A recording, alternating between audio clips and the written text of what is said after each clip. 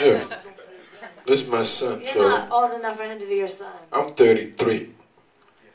He's 13. He was born when I was 20, so that makes sense, right? I can't believe it. Yeah. So he got that introducing from me. So, I knew you were gonna say that. yeah. so you see, I'm passing it on. I'm doing my job. You know. I just want to say I'm proud of you, son. That's all I want to say. Yeah. Yeah. Yeah. Can we get to hear you now? What's that? You're not gonna let us hear you so we know where you got it from? No, y'all need to buy my album when it comes out. That's the deal.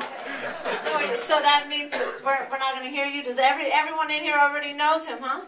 No. Damn! I've been doing something wrong.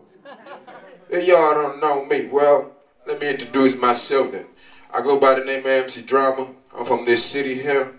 Been rapping over 20 years now.